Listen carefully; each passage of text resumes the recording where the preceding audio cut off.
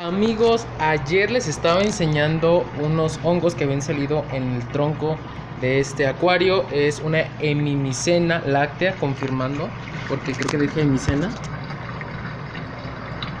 Miren, ya fructificaron mucho más. Ayer solo están cerrados y acá de este lado ya salieron otros. Vean, es una belleza. Vean, vean, esto le va a encantar a Lumar, a la bióloga, en serio, que, bueno, ella que es fanática de los hongos, a mí me encantan también los hongos, pero no tanto como a ella. Yo creo que ella es la fanática número uno de estas bellezas.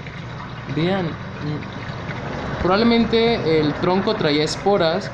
eh, al entrar en contacto con el agua, fructifica, o sea, se, por así decirlo, germinaron, que no es el término correcto. Eh, empezaron a, a nacer el micelio, que es básicamente el hongo, y aparecieron estos, los honguitos llamados los cuerpos fructíferos, que es un tipo de basilomiceto. No, eh, no es tóxico, pero no se puede considerar para alimento porque no tiene mucha carne. Y este salió en este tronco, es un tronco conocido como manzanita. Vean, un acuario plantado. A ver si alcanzamos a verlo mejor así.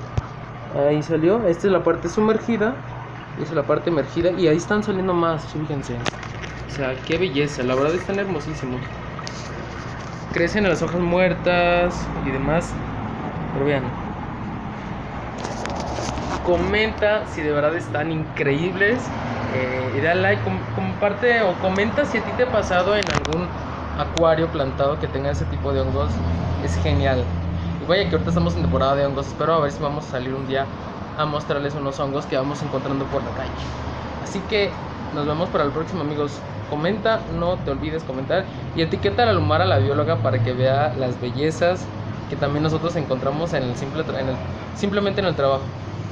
Hasta luego, nos vemos amigos. A, a mi biólogos, nos vemos.